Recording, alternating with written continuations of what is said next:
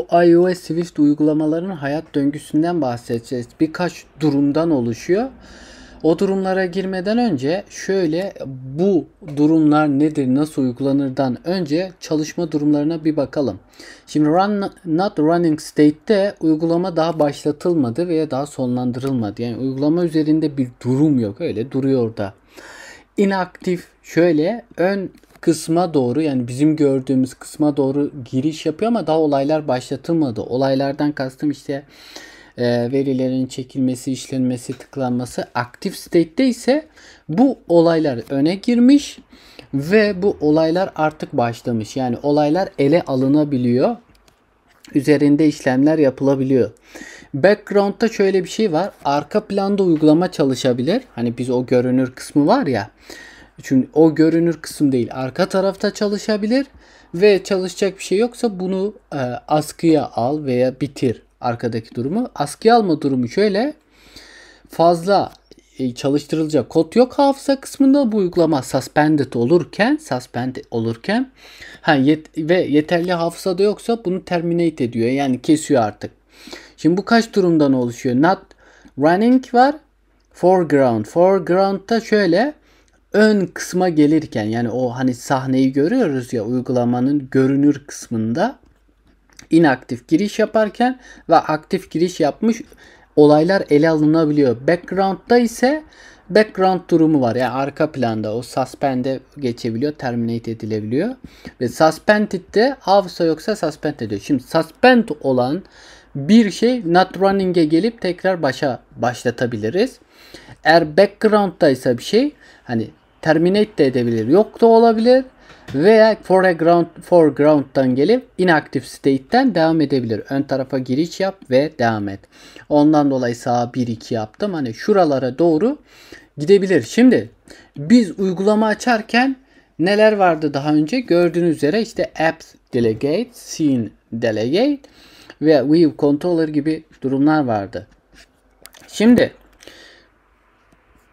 bu scene delegate'de şöyle bu bir yaşam döngüsü var ya. Mesela arka plana aldığında uygulama tamamen silindiğinde veya bir mesaj geldiğinde tetikleniyor bildirim gibi durumlarda veya uygulama ön kısımdayken ön kısımda bağlantı değiştiğinde gibi çeşitli durumlar var.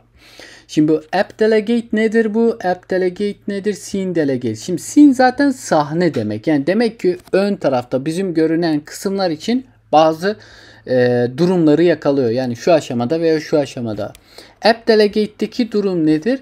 Yani burada application dediğine göre demek ki burada arka bir tık daha doğrusu e, ön kısım değil de arka planı yönetmekle uğraşıyor diye düşünebiliriz. Şimdi ben her yere print yazdım ve o fonksiyonun adını yazdım. Buradaki did e, finish launching with options işte burada configuration for connecting burada discord scene sessions gibi şeyler yazdım. Burada da yine printle ekrana basma adına. Çünkü basıp hangisi hangi aşamada geliyor görelim diye. Will connect to uh, scene did disconnect, scene did become active, resign active, enter foreground, enter background. Şimdi buradaki durumlar gerçi zaten İngilizce'de hangi aşamada olduğunu söylüyor. Ben ya hazırladığım dokümana hemen şöyle bakalım birlikte. Şimdi burada app delegate nedir? Yani bizim şu gördüğümüz app delegate nedir? Şimdi şöyle bakalım. Bu app delegate'de şöyle bir durum var. Şöyle şunu sağlayalım, şunu sola birbirine tıklayıp geçebilelim daha kolay. Şimdi app delegate uygulama temsilcisi nesnesidir. Yani UI responder sınıfından miras alıp UI application delegate temsilcisine ise pro, e, protokol uygular uygulamanın yaşam döngüsünü yönetiyor. Ne yönetiyor? App Delegate. Şimdi App Delegate demek ki neymiş? Uygulama yaşam döngüsü. Mesela tıklanıldı, geliyor, bağlantı oldu, koptu vesaire. Arka taraftaki durumlar. Yani yüklenirken yüklendi işte did finish başlatma seçenekleri ayarlamalar ve e, bu da scene ne yapıyor? Scene gördüğünüz yer genelde nedir? Sahne ile bağlantı. Burada konfigürasyon yapmışım. Scene buraya geldik. Şimdi scene'e gelelim. Scene şimdi UI application delegate hani şuradakilerden bahsedelim. Şimdi ne dedik? Miras alma, protokol uygulama. Şimdi UI responder ne? Ee, buraya gelelim. UI responder burada App Delegate'in kullanıcı olaylarına yanıt verme becerisine sahip olmayı sağlar. Böyle bir durum var. Şimdi UI Responder'ı yazdık mı yazdık. Peki buraya gelelim. Burada da aslında Scene Delegate ile de bunu sağlıyor. Çünkü Scene Delegate de aynı şeyi yani UI Responder'da miras alırken UI Responder'ın zaten response cevap vermek user interface kullanıcı arayüzü e, cevaplandırması gibi bir şey. Demek ki böyleymiş. UI Application Delegate var. Bakınız UI Application Delegate'de iOS'in ana girişi. Okey bir protokoldür. Tamam. Uygulama başlatırken ön ve arka planda uygulama sonlandığında bildirim alındığında tetikleme yapar. Ha ya bazı durumları yakalıyormuş. Tamam. UI application. Şimdi scene delegate geldik. Peki bu app delegate ile scene delegate var burada. Aradaki fark ne? Şimdi bu biraz daha böyle bahsettiğimiz gibi arka planda yaşam döngüsünü yönetirken bu ise ekran üzerinde ne olacağını ve olayların nasıl yönetileceğini scene delegate sağlıyor. Tamam mı? Ama bunu nasıl sağlıyor? Window yani ana bir ata var. E, bu protokolü kendisine ekran üzerindeki işlemlerin yakalanmasını uygulayarak sağlıyor. Bu ne sağlıyor? Scene delegate. Mesela örnek verecek olursak ben Scene Delegate'de ne yapabilirim? Burada mesela hangi ekranı ilk başlatacağım? Şu an mesela main. Bu ne? Bu bir ekran. Burası bu, bu, bu da UIV controller'a bağlı. Yani ben burada mesela will connect nereye bağlanacak? Buraya bağlansın diye varsayılan zaten main olarak tanımlandığı için buraya sağlar. Ama kalkıp ben window işte bu ata sınıfa diyebilirim ki bu e, main değil. Örnek veriyorum launch screen ilk ekranım olsun ya da yeni bir tane daha açtım. Burada işte gelirsiniz. Storyboard koyarsınız buraya ya da başka programatik de ileride yapacağız. Şu açılsın derseniz gidip onu açar. İşte bağla şimdi tek tek görmek için ben ne yaptım? Geldim e, bunu çalıştırdım. Ve burada sırasıyla printle ben ne yaptım? Çıktıları almak için print ettim. Yani şurada Az sonra çıktılarım hangi sıraya göre çalışmış görmek istiyorum. Yukarı doğru kaydırdım. Şimdi ben geldim şurada bakalım e, printlerime baktım. Şimdi şurada Clear Console kısmına bir tıklayınca şurayı görüyoruz. Bakınız. İlk tıkladığında App Delegate'de çünkü tıklanma neydi? Aha bu did finish launching with options tetikledi. Şimdi bunu tetikledikten sonra will connect to. Bu ne yaptı? Gitti. Daha sonra nerede bizim şeyimiz? Will connect to şurada. Hangi ekrana bağlanacak? Yani main'e şu an bağladık. İlk görünecek ekran olarak örnek veriyorum. E, ya da launch'ine de launch screen'e de bağlayabiliyoruz. Oraya bağlandı. Sonra neydi? Seal will enter foreground. Tamam mı? Sonra ön tarafa geldi. Sonra neydi? Tam aktif değildi. inaktifti. Şimdi aktif oldu. Tamam. Şimdi bunu yaptık. Bunu mesela arkaya atıyoruz. Arkaya atalım. Bak. Ne dedi? Will resign. Resign yani resign arka tarafa gönderilmek için tetiklendi ve arka plana geçti. Şu an arka plana. Bak scene will resign böyle tam arkaya atarken ondan sonra arkaya geçti. Şu anda arkada çalıştırılacak kod var mı? Onu bekliyor. Tamam mı? İngilizce açıklamaları yazıyor burada. Göstermek istedim ayrıca. Buydu değil mi? Şimdi bakınız şöyle geliyorum ve bunu tamamen yok etmek istiyorum. Ne diyor? Terminated. Ve ne oldu? Şu anda en background'a girmişti. En son terminate edildi. Demek ki yaşam döngüsüne başlatılıyor. Ekrana bağlantı sağlıyor. Ekrana giriş yaptı. Girdi. Ondan sonra arkaya göndermek için işlem başlattım. Arkada ve sonra ne yaptı? Terminate edildi. Terminate edilirken ne oldu? Bu sistem artık Yani sonlandırıldı. Terminate kesme sonlandırıldı. Aynı zamanda şimdi bu arka tarafta. Şimdi bir ekrana bu nereye bağlı? Şu view controller'a yani mesela şu main üzerinde bu işlemleri yap, yapıyorduk. Ee, bu şimdi app delegate'te bu eğer bir tek tek bahsedecek olursak şöyle diyelim. Bu başlatırken bak UI scene bu ayarlamaları yapıyor. Ne ile bağlanacağını rol üzerinde ee, yeni bir sahne başlatıl e, yani ekran başlatıldığında bu bununla yapıyorsunuz. Yeni bir sahne e, ekran başlatıldığında veya yeni bir ekranı yok ettiğinde yani discard e, yaptığında yok ettiğinde kullanıcı onlara da gireceğiz. Şu an tek ekran üzerinde gideceğim, gittiğimiz için çok ekrana giremedik. Şu an bu ise ekran yönetimi. Burada ilk hangi ekran örnek veriyorum açılacak onu bağlıyorsunuz. Ee, burada bir ekran e, serbest bırakıldığında arka plana doğru giriyor ya sin e, o zaman burada olur. Şu anda tek ekrandayız hala. Bu zaten aktif olduğunda ön tarafta arka tarafa doğru attığında geçici bir süre yani yok olmadan arkada bekliyor. Çok beklerse kendisini yok edebilir hafızada yerde yoksa.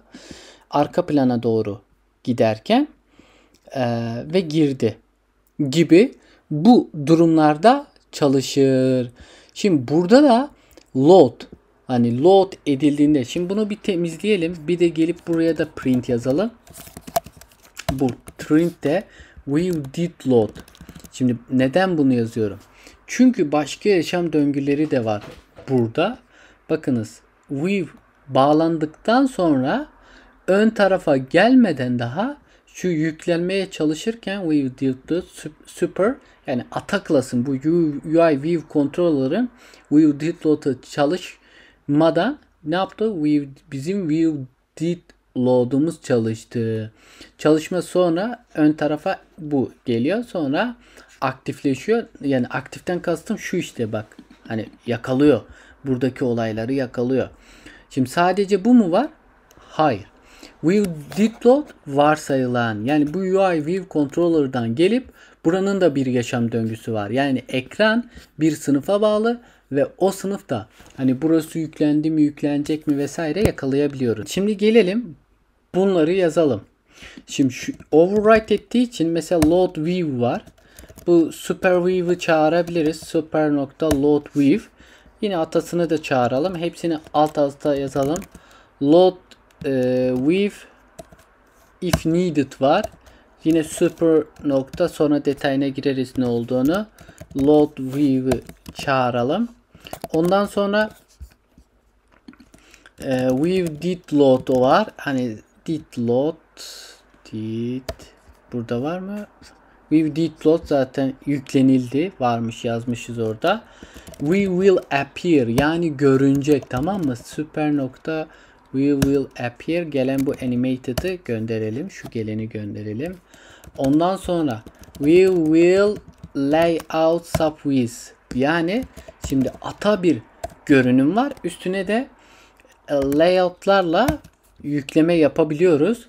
Ondan sonra we did appear göründü. Super nokta we did appear göründü. Aynı zamanda we did appear desek did, did, did appear yaptık. Will disappear. Uh, will will disappear. Disappear ne? Yok olması demek. Yazdık. Ondan sonra ne var burada? Son we have did we did disappear da yazdık. Bunu da super'den yaptık. Şimdi will will will lay out subways'ten sonra şunu da ekleyebiliriz. Will did layout subway super'dan bunu atamdakini de çağıralım. Şimdi her birisini yazalım. Bunlar nasıl çalışıyor? View gelip içine diyelim ki load view yani view bu görünümlere view deniliyor tamam mı? Mesela bu buton vesaire label yani text yazılan alanlar hepsi oradan e, miras alıyor. E, bu üst sınıftakini de çağırıp bu olayların tam etkinleştirilmesi, yakalanması için super'ı çağırdım. Super neydi? Miras aldığı sınıftaki mesela diyorum ki view did load'u çağır. Birazdan gösteririm size. Buraya geldim ve view disappear'a giriyorum ve son olarak şurası kaldı. View did disappear. Şimdi mesela bakınız UI view control'dan mesela şuna bakalım. Tamam mı? Command they can jump to definition diyorum. Bakınız.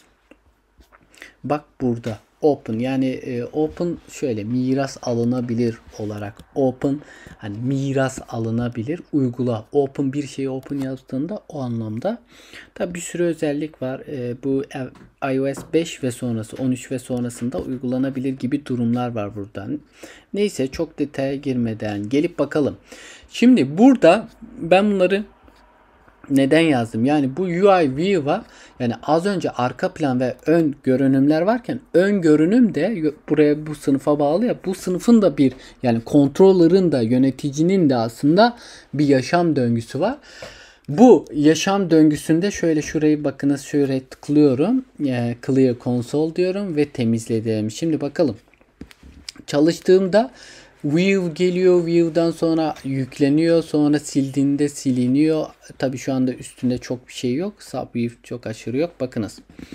Çalışma mantığına bakın. Finish will connect will load view. Burayı yükledi. Burayı yükledikten sonra bu ilk fonksiyon geldi. Çalıştı.